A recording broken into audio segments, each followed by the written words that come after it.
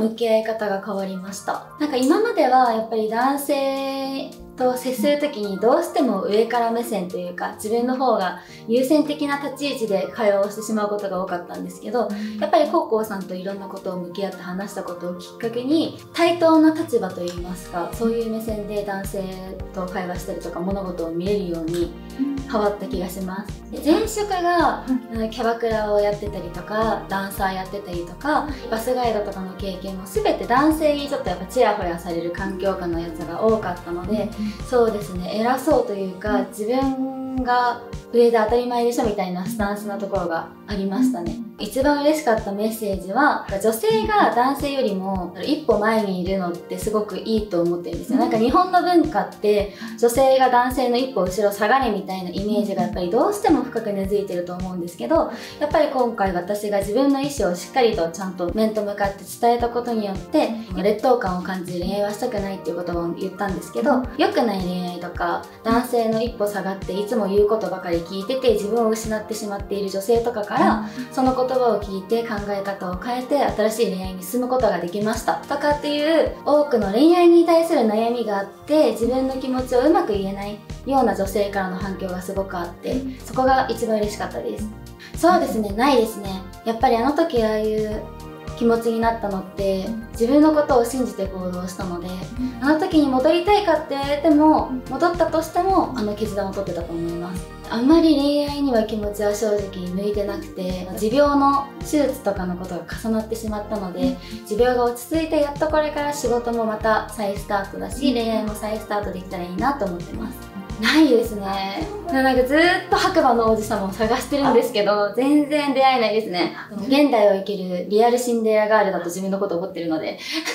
ずっと待ってるん。で誰かいい人がいたらお願いします特に今具体的に取り込んでることが明確にバッてあるわけではなくて今までどういうやっぱり SNS を使って自分を発信して舞い込んできてやりたいこと全てに対して挑戦するようにはしているんですけど目標は何個かあってまず1つ目がそのやっぱり今回の病気で手術をした経験を生かして女性に定期検診の大切さを伝えたり促進する運動をしていきたいなと思っているのと私たちのようなインフルエンサーっていう職業をやってる子たち大体コンカフェとかに出勤しがちだと思うんですけど、そうじゃなくて新しいそういうコミュニティの場を作れたらいいんじゃないかなってずっと思っていてバスツアーを経験したこともあってインフルエンサーの人が経営するバスツアーのイベント会社みたいのを作ろうかなと思って考えているところです。これからちょうど起業しようと思っていて7月8月ぐらいで考えてるんですけどやっぱり自分がバスガイドやってたプラスインフルエンサーもやっているっていうので嘘偽りないしコンカフェとかにのイメージって夜だったりとかちょっとなんか行きにくいっていうイメージがあると思うんですけどやっぱりこのコロナ禍でも旅行とか観光業ってすごいやっぱ息抜きとかとしても皆さん好きじゃないですか。やっぱ新しいことを自分から何か作って挑戦するのって自分的にもすごいワクワクしてて楽しいのでバスツアーの会社を作ろうとは思っていますターゲット層は私本当にありがたいことにファンの年齢層と男女比率が半々なんですよ。でそれって自分の中でもすごいことだしありがたいことだなと思ってるんですけどその中でも一番若くても20代から高齢の方だと60代までファンの方いてくれるんですね今も。どこかに絞るんじゃなくて皆さんが好きな時に興味があることにプラスで私に会えるっていう環境を作れたらいいなと思ってるのでバスツアーの内容も例えば私競馬が好きなので競馬に一緒に行くツアーとかファンの中でカメラオタクの人もすごく多いので撮影会プラスバーベキューに行くツアーとかイベントと時期に合わせたいろいろなさまざまなツアーを考えていてあとはご高齢の方とかってやっぱりお花とか神社とか好きじゃないですか。ちょうど今神社とかお寺の方とかもお話しさせていただいてるんですけど最近フラワーロスっていうのが問題視されていてお花の使う場所がすごく減っていてそこに目をつけたお寺とかがあの花ちょうずっていう手水手洗う場所にお花を入れて感染対策で触ったりもしなくていいしなんか目で体とかを癒せるみたいな文化というか新しいものができてるんですけどそこに注目というか着眼点を置いてそういうのをちょうど7月からリリースする予定で YouTube にも花ちょうずを巡る観光のツアーもやろうと思っています。サプライズがすごく好きなので最近は仕事の先のことをたくさん考えて楽しく生きてる感じです。全ての職歴が今の自分を作ってくれてるなって思ってるんですけど一番ファンの方に言われるのは記憶力がいいっていうのがすごく言われて初めて会った人でも私絶対忘れないんですけど名前と顔を一致して覚えたりとかその人と何喋ったかを覚える記憶力ってバスガイドの時にたくさん勉強したりお客さんのことを楽しませたいっていう気持ちから全部イコールでつながってきてると思うのでで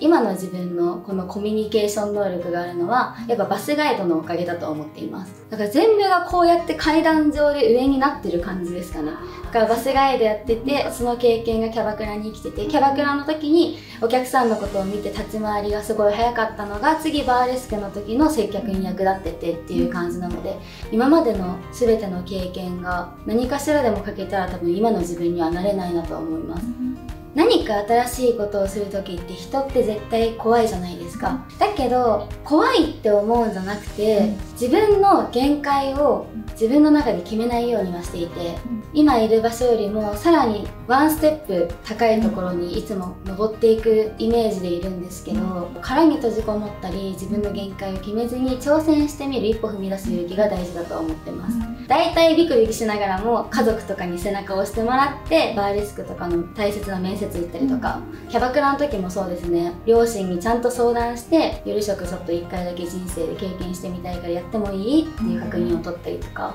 いつも家族が背中を押してくれてた気がします。病気を経験したことによって人生は1回きりだなってすごく思ったのでやりたいと思ったことを全部やろうとは思っていて負けず嫌いと野心が強いのと人と違うことをしたいっていう気持ちがもうちっちゃい頃からずっとあってだから私今年今24歳でもうすぐ25なんですけど24とか25とかに見られたくないんですよ。実年齢よりも3個4個年上ぐらいに見られるぐらいちっちゃい頃からなんかもう背伸びしていきがちなんで負けず嫌いが全部にイコールで生きてるんだと思います。バチェラーに興味を持ったのも私武道会に憧れてたからバチェラーに出たかったんですよ。だから結婚する時も絶対に結婚相手の男性には言おうと思ってるんですけど舞踏会をやってくれる男性と結婚したいです。人生のテーマがやっぱりナンバーワンって言葉がすごく好きでずっと一番を思い描いて一番にすがりついて生きてたいと思ってるので独特な色みたいのは出し続けられる女の子でいたいなと思ってます。全然元気です。私退院してもう3日目から仕事を再開していて18歳の時に30センチっていう大きさだった時がものすごく本当に精神的にも肉体的にも辛かったんですけどその記憶が鮮明に残ってるからこそ今回は8センチかだったんですけど8センチはすごい自分の中ではかすり傷みたいな感じになっててもう3日目から全然元気でしたやっぱり皆さん手術ってなるとそういうイメージを持たれる方がすごく多いと思うんですよ。そういうイメージがあるからこそなかなか検診に行きにくいとか手術を選択しにくいって方が多いと思ったので今インスタグラマーとして活動させていただいてるのもあって私がみんなに見られてる仕事の人が手術終わりに活発に動いてたらそれはなんか賛否両論でなんかもっと休んだ方がいいよとか言ってくる人もいると思ったし、まあ実際にそういうメッセージも本当に稀に届くんですけど、それ以上に同じ病気とか手術控えてる方たちから意外とすぐ動けるようになるっていうのを見て手術決めましたっていう言葉とかも実際に届いてるので、なんか自分が生きてる生き方をやっぱりそうやって SNS とか使えるものを使って人の役に立ててるのはすごく嬉しいなと思ってます。重いイメージからもうちょっと軽くというか意外と大丈夫だよっていうのが 伝わったらいいなって思ってますね。一番皆さんにちょっと伝えたいことは卵巣腫瘍って子宮がん検診っていうものに参加すると見つかることが多いんですけどその子宮がん検診って市から無料で検診する紙が届くんですよ。多分見たことないですかね？届いたこととかないですか？あ私ちゃんと見てない。捨ててるじゃないですか。無料で検診に行けるものを皆さんやっぱりスルーしてしまう人が多いのが今の実態なんで、無料で自分の命が助かるんであればやった方がいいと思うんですよね。だからその死から来る子宮頸がんの検診の紙を無視せずにちょっと一歩踏み出す勇気を持ってほしいなと思います。体に傷がつくことってすごく怖いと思うんですよ。私も実際にグラビアとかのお仕事とか水着で踊ったりとかそういうお仕事もしてたので仕事に支障があるし傷嫌だなっていう気持ちはすごく強かったんですけどそれを逆にプラスに捉えて傷口は勲章と思うようにしてこの勲章があるからこそ今の私がいるっていうプラスな考え方に皆さんシフトチェンジできたら、もうちょっとなんだろう考え方とか変わったりとか検診を促進してる団体の皆さんとかに自分からオファーというかアドバイスっていうかこれがいいんじゃないかなって思ってるのがあって子宮頸がん検診とかっていう名前だからみんな行きにくいと思うんですよ。だから名前をちょっとビューティー検診とかそういうなんだろう今の現代っぽい感じに変えたら検診に参加したい人も増えるんじゃないかなと思っていて一応自分でピンクリボン運動さんあるじゃないですか。乳がん検診の方にオファーはしてるんですけど一緒に仕事させていただけませんかっていう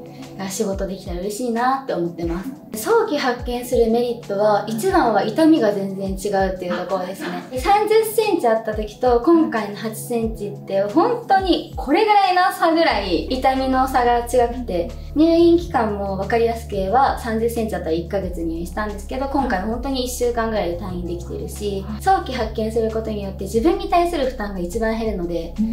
もう皆さん絶対検診には行ってほしいですやっぱなんか医療従事者じゃないのにこういう発言をするのとかってどうなんだろうっていう意見とかも時々まれに聞くんですけど医療従事者の方でも経験されてない方だっているじゃないですか。やっぱ経験してるからこそ分かること伝えられることって絶対あると思ってるので、まあ、何を言われようと私はこの経験をこれからも語っていきたいし誰かの役に立ったらいいなって思っているので2回経験してる人は本当になかなかいないと思うので伝えていけたら嬉しいです正直最初はそのタイミングで手術しなきゃいけないってなったのはものすごく辛くて。しかもコロナ禍は避けたかったんですよ。入院してる時の楽しみって食事と面会なのにその大切な面会が誰ともできないわけじゃないですか。病院で一人ぼっちも嫌だなって思ってたんですけどバチェラーに出て知名度名前が広がったこのタイミングだからこそ何か意味があるんじゃないかなっていう捉え方をするようにして今だからこそ自分にできることって何なんだろうとかだからこそ今このタイミングで再発したんじゃないかなっていうプラスに考えて乗り越えましたね。もうずっと手術がしなきゃいけないって決まった時からいつファンのみんなに言おうっていうのはすごく悩んでたんですよ。でもそれをチラって、まあ、ちょっともう言おうと思ってストーリーに載せたタイミングで同じ病気を乗り越えた女性とか同じ病気の女性からのメッセージがもう何百通とかが届いて2回目の手術っていうのもあってこれから妊娠本当は先生できるって言ってるけどできないんじゃないかなとかそういう不安がものすごくあったんですけど2回手術された女性も5人ぐらいいたのかなメッセージの中で。その女性たちが妊娠して子供3人産んでますとか男の子育ててますとかそういうメッセージが届いたことがものすごく救われて私が発信して救えるなんか背中を押してあげれる女の子もいますし、発信することによって届くメッセージで私自身も救われている状態なので、金八先生的な人と人という字はみたいな感じな気持ちですね。私が一番支えられましたね。同じ病気を経験している女性に救われました。でもものすごく思うのは試練は乗り越えられる人にしか与えられないしやってこないと思ってるんですよ。私も18歳の頃に病気が分かった時はもう死んじゃうんじゃないかなとかっていうマイナスな気持ちしかなかったんですけどその経験があるからこそやっぱ人生は一回きりっていうことに気づけてこうやっていろんな仕事をしようっていう気持ちになったので乗り越えたら違う世界が見えるので私だからこそこの病気になってるんだっていうマインドに変えてもらえたらちょっとなんか怖い気持ちとかじゃなくて頑張って乗り越えようっていう活力に変わるんじゃないかなと思います。私も実際にマイナスに捉えたりとか落ち込んだりすることとかもあるんですけどそれをどうやって自分の中でプラスに捉えられるようにシフトチェンジするかがすごく大事だと思っていて乗り越えられる人にしかでも本当にやってこないんじゃないかなっていう気持ちで頑張って乗り越えてほしいです。えー、参加者の男性に向けてですか？やっぱり嘘偽りない姿でもう全身全霊で取り組んでいただいたら相手に気持ちは絶対に伝わるし視聴者の皆さんにも伝わると思うので後悔なく頑張って乗り越えてほしいです起業するんでバチェロレッテ狙ってるんで。はい。そうなんですね。慣れたらいいですね。今回のバチェラーを通して男性もちゃんと人だっていう見方をできるようになったのであの時はこうだったけどっていう目線で大人になったシンディをバチェロレッテに出て見せることがあと34年後ぐらいにできたらいいなと思ってますね。もしだから相手が運命の王子様が現れなかったら私もバチェロレッテで王子様探しするのもありなんじゃないかなって視野に入れてます。ちょっと頑張ります。相手がいなかった時はよろしくお願いします